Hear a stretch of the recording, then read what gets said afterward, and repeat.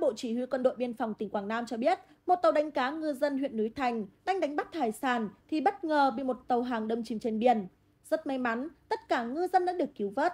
Theo đó sáng cùng ngày trạm kiểm soát biên phòng an hòa nhận được tin báo của một ngư dân trú tại xã tam quang huyện núi thành về việc bị tàu hàng tông phải làm lật tàu.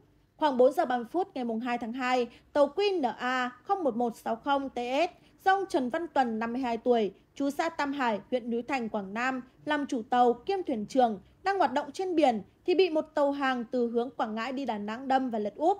Vị trí tai nạn cách cửa an hòa khoảng bốn hải lý.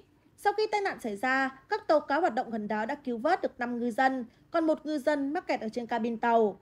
Lúc này trên tàu có bốn ngư dân, bốn người kịp thời nhảy khỏi tàu, bao gồm ông trần văn tuần, năm mươi hai tuổi, chủ tàu cá ông trần văn em, sáu mươi một tuổi. Ông trần văn tính, ba mươi bốn tuổi. Và ông trần văn hải, sáu mươi bốn tuổi. Hai người còn lại mắc kẹt ở dưới cabin tàu, hơn hai giờ đồng hồ bao gồm anh hồ quang vũ, ba mươi hai tuổi, cháu chủ tàu.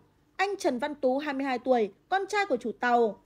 Các nạn nhân sau đó đã được cứu thoát và được đưa đến cấp cứu tại bệnh viện đa khoa trung ương, quảng nam và đã có cơn nguy kịch. Theo lời kể của ngư dân, sau khi vào cảng kỳ hà để cân mẻ cá vừa đánh bắt được, sáu thuyền viên đã thả lưới để tàu trôi giạt đến bốn giờ cùng ngày các ngư dân đang ngủ thì bị tàu hàng đâm phải lúc này bốn người thức dậy và nhảy khỏi tàu bao gồm ông trần văn tuần chủ tàu cá 52 tuổi ông trần văn em 61 tuổi ông trần văn tính 34 tuổi và ông trần văn hải 64 tuổi Hai người còn lại là Hồ Quang Vũ 32 tuổi và Trần Văn Tú 22 tuổi bị mắc kẹt giữa cabin tàu.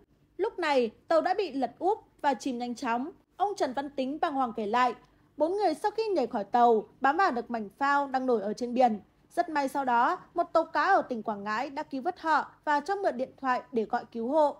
Cứ nghĩ hai người cháu của ông đã chết ở cabin, tuy nhiên rất may mắn là hơn 2 giờ đồng hồ sau, cháu Vũ đã thoát được và trồi lên mặt nước bảo cháu Tú vẫn còn sống.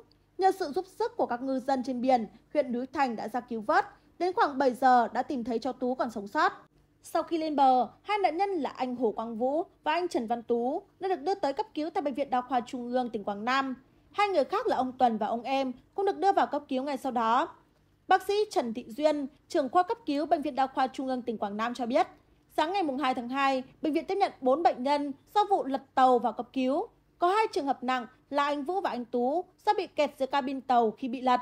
Vì bị kẹt lâu ở dưới nước và bể dầu, hai nạn nhân bị tổn thương phổi do uống nước và hít dầu quá lâu.